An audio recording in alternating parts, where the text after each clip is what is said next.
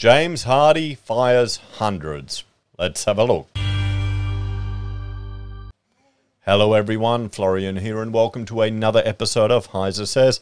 Grab your stein of coffee because I want to have a look at this article from the Fin Review talking about a business I am sure we are all familiar with, and all of us that work in the construction industry would have specified or bought or used or installed many times, probably even in the last year. Well, James Hardie, they're predicting bad times ahead and they're slashing hundreds of jobs just before Christmas. So I think this this is the type of stuff we should pay attention to. I know there's things doing the rounds from BlackRock making predictions and all of this stuff, but here you have a real business that creates real things that sells stuff that real people use to build things that's cutting hundreds of jobs. And you may hear I've got a little Valeria uh, with me tonight. So, James Hardie Industries is cutting hundreds of jobs globally and making workers redundant before Christmas as the building materials maker struggles with what it claims is a perfect storm of falling demand and soaring costs. The AFR weekend understands around 100 jobs will be cut in the Asia Pacific region, mostly in Australia, with employees receiving redundancy notices before Christmas. Now, that has to be tough. Hang on, I've got to get this little girl here. Come, come here, come here. You can record with me, okay? You, you can record with me, okay? hundreds of jobs or a hundred jobs in Asia Pacific and Australia getting redundancy before Christmas. That isn't going to be fun, is it? It's not going to be fun. Yeah, yeah. Don't, don't, don't touch that. No, no, no, no. You leave that alone. Leave that alone. Ah, never work with children. The job losses, which come as Australian executives warn of an economic slowdown or possible recession in 2023, are believed to to be in the hundreds across James Hardie's operations in the US, Europe, and Asia. The company, which makes a composite material known as fiber cement used to cla- that is used to clad homes, they make a lot more than that than just fiber. Okay, I guess they they make it in a whole series of different things, but I mean we've spec them on the school job. I mean there's everything. They they make a whole lot of great products, you know. A James Hardie spokesman confirmed all regions had been affected. Okay, you want to get down? Okay.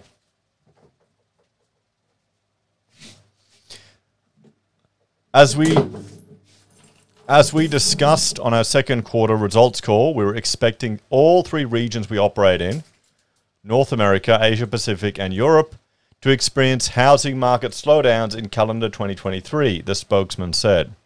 As such, we've taken the difficult decision to adjust our cost base to better align with market conditions.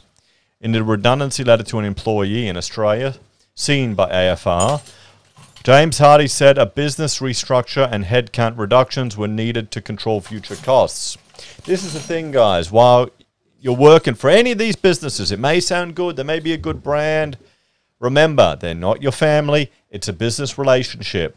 All that bullshit on LinkedIn about family, you know, we care for each other. I love my work uh, husband or wife. It's, it's bullshit, okay? It doesn't mean anything. It can't, it's business relationship. It's this little little angel here that's like destroying all my stuff. Wait, oh, she's got a razor blade. How does she find this stuff in my office? You, you get a kid just going around, they find everything. she's fine though. She's got the keys. That's family, okay? business is business. You got to treat it like that. And, and, it's sad seeing people not preparing for it, putting all the eggs in one basket. The company said it was experiencing a cyclical downturn in 2023, driven by macroeconomic uncertainty, aggressive inflation growth, and rapidly rising interest rates. So we could, could we see a recession in the housing sector here in Australia next year? Remember, we had we had the uh, building approvals shoot up. You can see here the home builder spike and it's starting to fall back down. Home construction's fall in the US. This combination is creating a perfect storm of lower than expected demand coupled with higher than expected input costs, which is putting significant pressure on our current and future financial returns, the letter said. The Australian, she found a bolt for fixing steel. I got everything on my desk. The Australian job cuts which started this month, are believed to be at James Hardie's corporate office in Sydney, its Rosehill manufacturing plant in Western Sydney, and Carole Park manufacturing plant in South Brisbane. They are understood to include marketing roles as well as logistics and possibly manufacturing roles. New James Hardie chief executive Aaron Erter downgraded uh, full year profits by about 10% in November, citing a sharp downturn in new home construction in its main market of North America, a housing recession in Europe, and a slowdown in Australia.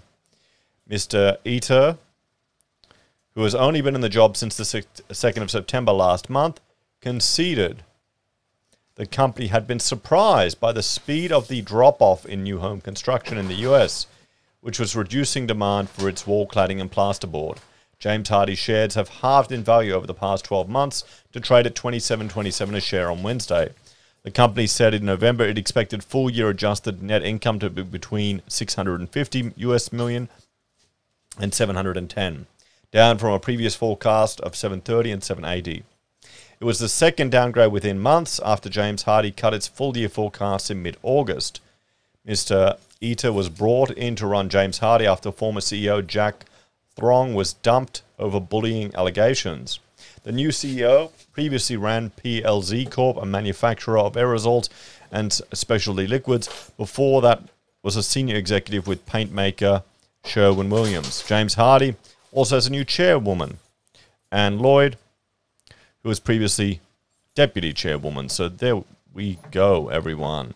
James Hardie cutting hundreds of jobs. Let's have a talk about this one.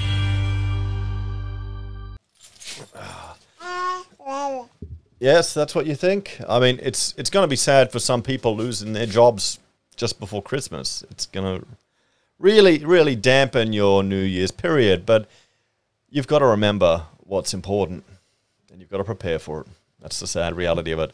Next year is certainly going to be an interesting year, guys, and you've got to remember what's really important. Like this little one, hey, hey. Okay, she doesn't care anymore.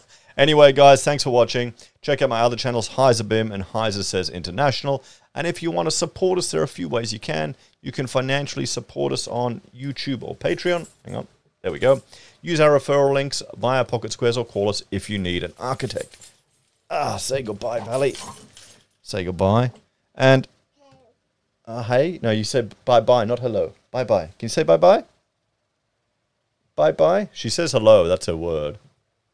Take care, guys. Have a great day, and I'll see you later. Oh, great. She's pressing things on the computer. Fantastic. I'm going to put it down. Bye, everyone.